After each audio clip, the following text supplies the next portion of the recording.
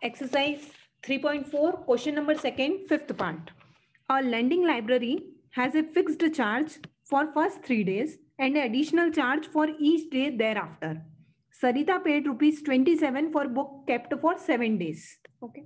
While Sushi paid rupees 21 for the book she kept for five days. Find the fixed charge and the charge for extra days.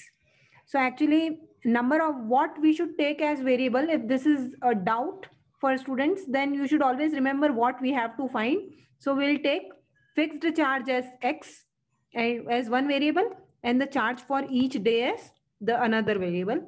So let fixed charge equals to rupees X and charge for each extra day equals to rupees y.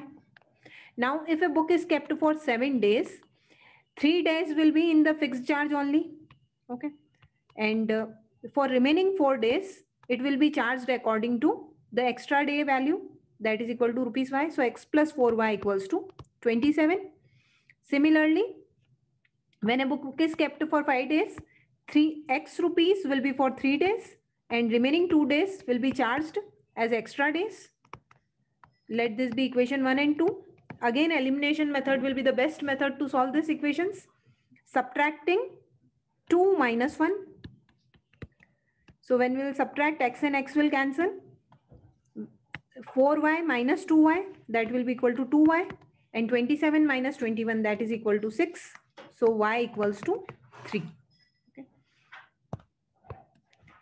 y equals to 3. Substituting this in equation 1